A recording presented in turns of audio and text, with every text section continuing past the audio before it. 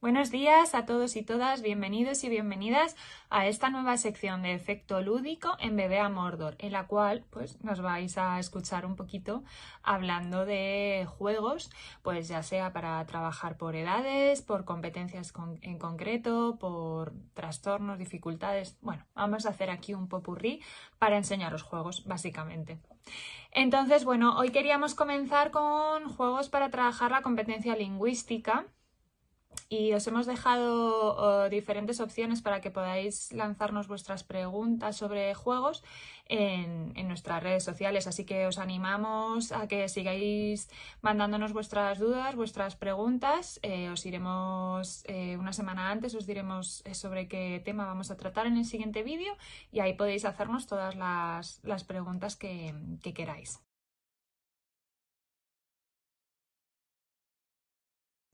Pues como os decía, vamos a comenzar hoy con juegos para trabajar la competencia lingüística. Eh, pues un poco la competencia lingüística básicamente sería hablar, escuchar, leer y escribir que bueno, que parece así algo muy sencillo, pero que luego en el fondo no, es tan. Es, algo más complejo de, lo que parece.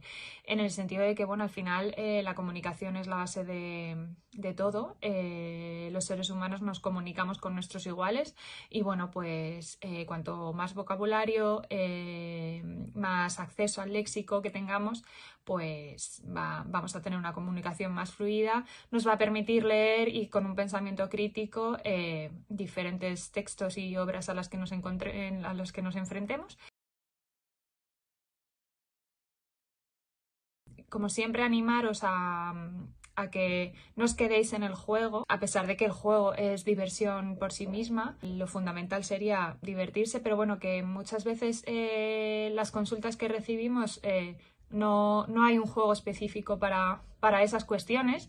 Obviamente no puede haber juegos para todo, pero bueno, pero algunos de los juegos que os voy a enseñar ahora pues son adaptables a las necesidades, ¿no? Si en el caso de ser docentes, terapeutas o, familias que quieran eh, que quieran adaptar algún juego para su necesidad, pues bueno, que hay diferentes opciones. Por ejemplo, por, orden, eh, tenemos aquí escuela de dados, eh, en el que vamos a tratar de, encontrar palabras eh, en base a unas categorías. Por lo tanto, ya nos va, nos va a venir súper bien para trabajar la, la, velocidad de denominación, porque hay dados en los que nos van a aparecer unas categorías gramaticales, ¿vale? Y bueno, pues vamos a tener que, con otros dados eh, de letras, vamos a tener que decir, decir palabras que empiecen por, por esa letra. Por lo tanto, vamos a tratar de, vamos a ir sacando esas palabras ¿no? de nuestro almacén léxico para eh, encontrar las palabras que necesitemos. Pues, por ejemplo, nos ha salido un animal que empiece por N, pues nutria. Si cogemos esos dados, pues eh, vamos a tener mayor puntuación. Los dados siempre eh, no pueden coincidir nunca de, color, ¿vale? Pues esto sería un poco para, pues para producir vocabulario, básicamente. Vale. Eh, obviamente todo lo que sea denominación, eh, pues les va a venir bien para eso que os decía de, de vocabulario, sobre todo a niños con, y niñas con dificultades, pues eh, todo lo que evoque ese vocabulario les haga eh, hacer mayor memoria de, palabras, pues les va a ayudar a, nivel académico, ¿no? Va a repercutir a nivel académico. Luego tenemos eh, Look Around, aquí, que son unas cartas circulares, ¿vale? En las que por un lado vienen muchísimos estímulos y por otro lado vienen letras. Se trata de encontrar con esa letra una imagen que nos evoque ese, ese objeto. Por ejemplo, con la I se me ocurre interpretar, porque cuando tocamos una canción eh, interpretamos. Entonces ya se trata de un nivel un poquito más elevado de, abstracción. Bien, eh, más juegos. Eh, bueno, los clásicos supongo que habéis, que conocéis todas las personas, como son Story Cubes. Eh, pues por ejemplo, el, clásico de siempre, en el que se lanzan los dados y hay que crear una historia. Como a veces esto de crear una historia es muy, muy, muy amplio, muy poco específico y a los niños y a las niñas o a los adolescentes eh, en general les cuesta un poco centrar esas ideas, hay, que acotarles un poco todo, toda la información. Entonces yo sí que os recomiendo que eh, les deis pautas para, para, cómo narrar, cómo describir, para que les sea mucho más sencillo y, no tengan que, hacer esas divagaciones. ¿no? Hay fichas, podéis encontrar fichas por internet o incluso hacerlas vosotros, pues que venga, pues utiliza tres dados para la introducción de una historia, tres dados para el desarrollo y tres dados para, para el desenlace. Entonces, pues nada, tendrían que tirar los dados e inventarse una historia. Para temas un poquito más concretos, porque estos son todo imágenes, eh, eh, pues para contar historias, hay otro que es un poquito más específico, que es este de acciones, que todos los dados son acciones. Entonces, pues para trabajar el concepto de lo que es un, verbo, los tiempos verbales, pues nos vendría muy bien, ¿no? Porque ya les podemos decir, venga, pues por ejemplo, para, esta acción que sería preguntar, pues podemos decirles, vale, pero tienes que utilizar tres verbos en presente, eh, tres en pasado y tres en futuro. O a medida que van aumentando la edad, pues que ya empiezan a meterle el, el pretérito pluscuamperfecto, el futuro condicional, bueno, pues todas estas cosas, pues nos puede servir este, este, Story Cubes eh, de acciones. Para, a lo mejor para ya más, más mayores y un poquito más de, complejidad, ¿vale? También para trabajar vocabulario tenemos a Splatzy, ¿vale? Que son unas, unas tarjetas. En las que nos van a, nos van a dar una, una eh, eh, lo que tenemos que buscar y cada persona vamos a tener en nuestro, en nuestro en nuestra zona de juego vamos a tener unas, unas imágenes, ¿vale? Viene la imagen, además son objetos reales, que esto para eh, cuanto más mayores son mejor, ¿no? Ya no utilizar tanto dibujo. Y además viene el, el nombre de la imagen escrita en. Tenéis además, no sé, son un porronazo de, cosas, de imágenes, ¿vale? Pues entonces si por ejemplo eh, yo tengo que buscar algo que sea casi todo de madera, de madera pues si voy a tener cinco, cartas que vienen por delante y por detrás, las cartas las vamos a poder girar para ver si encontramos algo que necesitemos. Pues por ejemplo, algo que esté hecho todo, casi todo de madera, pues podría ser la diana. Si soy la persona más rápida en decirlo, eh, me voy a llevar, eh, me la voy a quitar y cuando, cuanto antes me quite todas mis cartas de imágenes, eh, pues será quien primero se las eh, quite va a ser la persona vencedora. Eh, esto nos viene también, esto ya podemos adaptar este material, ¿no? por ejemplo, pues en qué se parecen, podemos buscar semejanzas y diferencias, en qué se parecen, en qué se diferencian, que copien las palabras, que hagan una frase con ellas, ¿no? Bueno, pues ya entra dentro de las necesidades que tengamos para trabajar, pues cómo, utilizamos el juego, si el juego como tal o si lo queremos adaptar. El primo hermano de Slapsy eh, sería este, que aquí ya las cartas lo que vienen son eh, con unas iniciales y mm. es, prácticamente igual. Eh, nos vamos a tener una carta central con letras y vamos a tener que buscar un, pues por ejemplo, es un planeta, pues voy a darle la vuelta, voy a hacer trampas. Pues con la M, pues Mercurio, ¿no?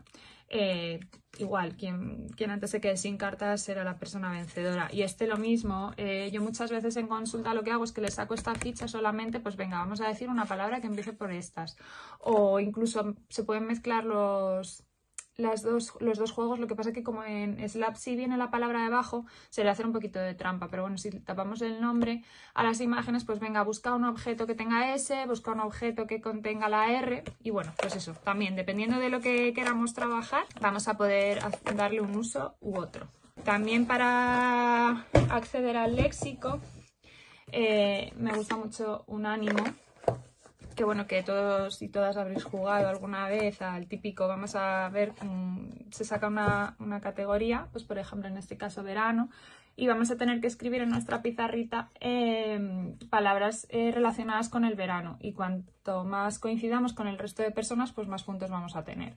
Entonces también para, trabajar lo que es el razonamiento verbal, ¿no? cosas que estén relacionadas con mm, y evocar esas, esas palabras, pues nos, va, nos van a venir muy bien.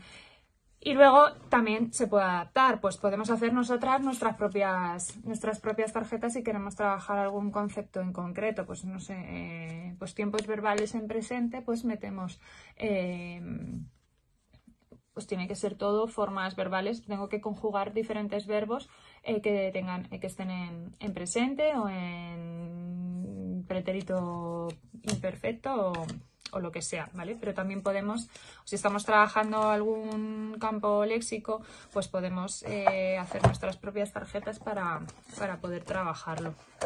Eh, luego ya sabéis, quienes nos seguís, que yo soy muy fan de, de Times eh, porque pues eso también para, para todo el tema del lenguaje me parece fundamental, sobre todo en los niveles más, más bajos, más de cuanto más pequeños sean. Eh, tenemos el Times Up Kids, que son un montón de tarjetas con imágenes lo que os decía antes, pues para más pequeños pues les podemos meter las imágenes, o sea, la, imagen en dibujo. Para más mayores podemos utilizar el, el Slapsy porque ya son imágenes reales, son como fotografías.